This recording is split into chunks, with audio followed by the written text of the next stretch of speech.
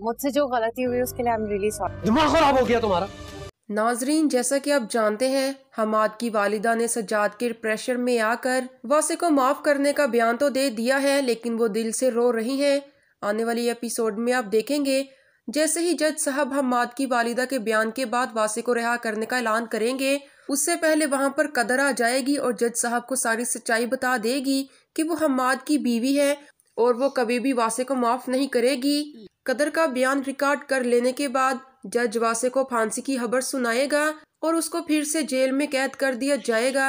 दूसरी तरफ़ आप देखेंगे, वासे को इस बात का यकीन हो जाएगा कि अब उसे फांसी होने वाली है तो वो अपनी बहन अदीला के सामने बहुत ही ज़्यादा रोएगा और अदीला से कहेगा कि मैं मरना नहीं चाहता, मैं अपनी बीवी और बच्ची के लिए ज़िंदा रहना चाहता हूँ, लेकिन चाहकर भी अदीला अपने भाई वासे को बचा नहीं पाएगी। क्योंकि उसका जुर्म ही ऐसा है जिसको माफ़ करना मुश्किल ही नहीं, बल्कि नामुमकिन सी बात है।